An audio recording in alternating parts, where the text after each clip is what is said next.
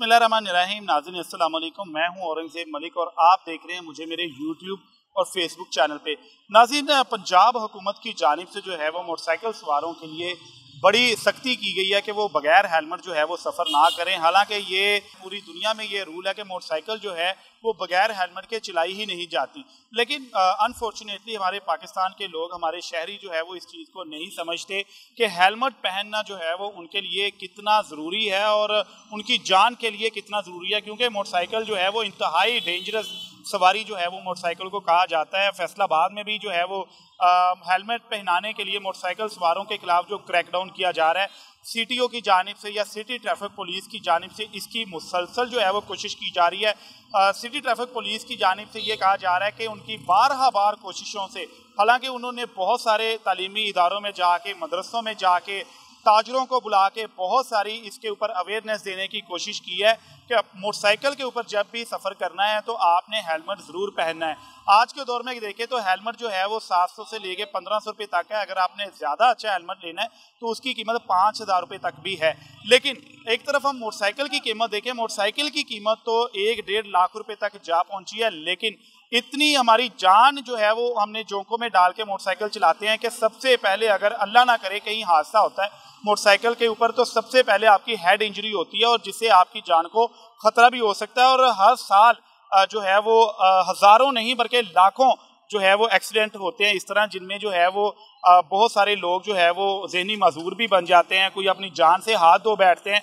यही नहीं बल्कि मोटरसाइकिल का जो एक्सीडेंट होता है उसमें जान जाने की बहुत ज़्यादा चांसेस होते हैं तो ये कह लें कि ये रूल के ऊपर अमल दरामद करवाना, ये ट्रैफ़िक पुलिस की उनकी ज़िम्मेदारी है और सिर्फ़ और सिर्फ़ ये शहरियों के लिए है। तो फैसलाबाद में इस वक्त हम यहाँ पे ठट्ठा पुल के ऊपर हैं, किनार रोड पे, यहाँ पे ट्रैफ़िक वार्डन जो है वो खसूसी तौर पे ये कंपेन चला रहे हैं। पहले तो उन्होंने इनका ये कहना है कि पहले तो इन्होंने हर तरह आवाम को मुहिम में जो है वो शामिल करने की कोशिश की है हर तरह से इनको जो है वो एजुकेट करने की कोशिश की है कि हेलमेट जो है वो मोटरसाइकिल सवारों के लिए कितना ज़रूरी है। लेकिन इसके साथ साथ जो है वो शहरी नहीं समझते तो अभी जो है वो बाकायदा चलान जो है वो किए जा रहे हैं कि चलान के ज़रिए जो है वो ये मुहिम को कामयाब बनाया जा सके। तो हम ट्रैफ़िक वार्डन भी हमारे साथ हैं, हम उनसे कोशिश करते हैं, बात करते हैं।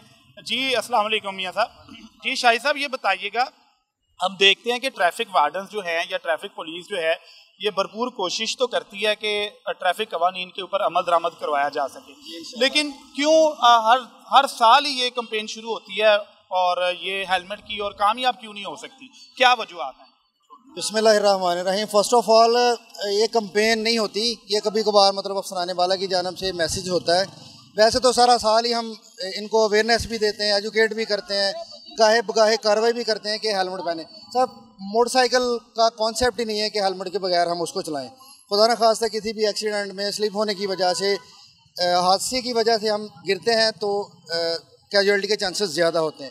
अगर हेलमेट होगा तो हम सेफ़ होंगे। तो अभी आईजी पंजाब सीपीओ साहब सीटीओ साहब अफसरान बाला की तरफ़ से मुहिम चल रही है कि विदाउट हेलमेट मोटरसाइकिल सवार जो हैं, उनके ख़िलाफ़ कार्रवाई की जाए।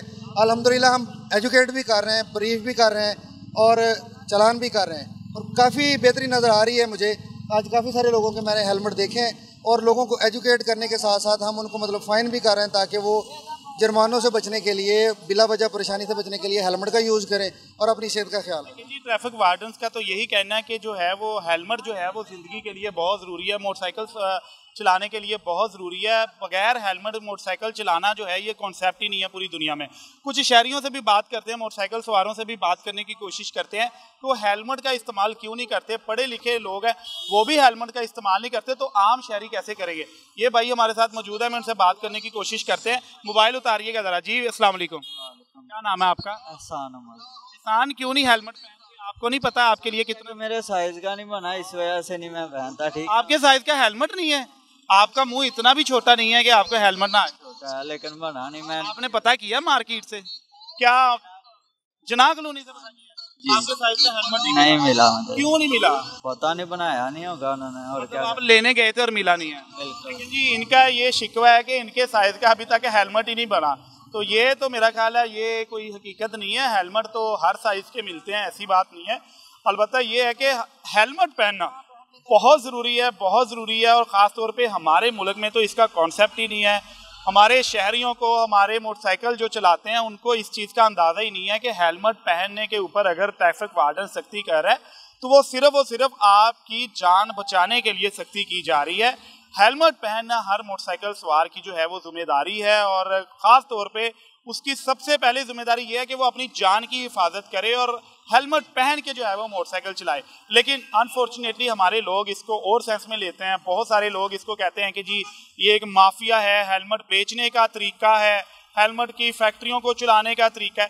भाई पूरे, पूरी दुनिया में ये असूल है कि मोटरसाइकिल जो है, वो हेलमेट के बगैर नहीं चलती। तो मेरी भी तमाम शहरियों से, तमाम देखने वालों से ये रिक्वेस्ट है, आपने अपनी जान की हिफाजत करनी है। या फिर अपने साथ सामने वाले की जो और भी लोग मोटरसाइकिल चला रहे हैं, उनकी हिफाजत करनी है। तो आपको हेलमेट पहनना ज़रूरी है किसी भी हादसे में, किसी बड़े हादसे से बचने के लिए।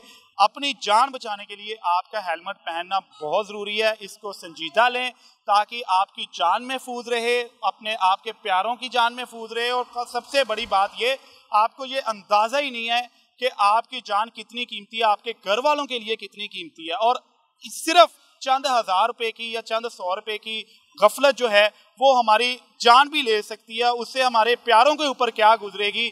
अगर अल्लाह ना करे, आपका हादसा हो जाता है और आपकी जान चली जाती है हेड इंजरी हो जाती है तो आपको अंदाज़ा ही नहीं होगा कि आपकी जान कितनी कीमती है और आपने कितने सस्ते में अपनी जान को जो है, वो जोंकों में डाल के अपनी जान ही उड़ा दी है। तो मेरी आपसे ये रिक्वेस्ट है कि ज़रूर हेलमेट पहने, ये छोटी छोटी तकलीफ़ है, ये आपकी भलाई के लिए है, इसके ऊपर ज़रूर अमल दरामद करें, ये दो सौ रुपये का चलान करवा रहे हैं तो चार सौ रुपये और डाल के छः सौ रुपये वाला हेलमेट ले लें यार।